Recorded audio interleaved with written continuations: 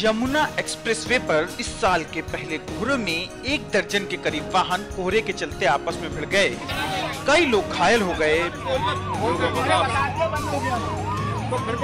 पहले दो वाहन टकराए, जिनके हटने की कार्रवाई शुरू होती।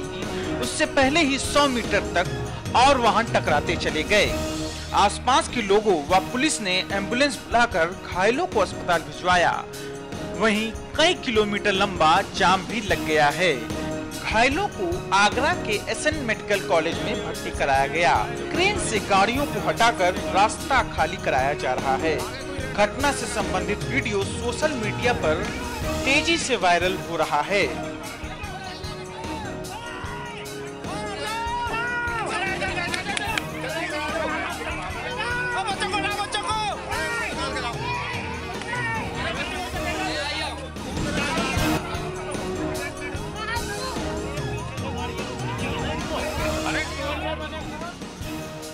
Special desk Janmat news Lucknow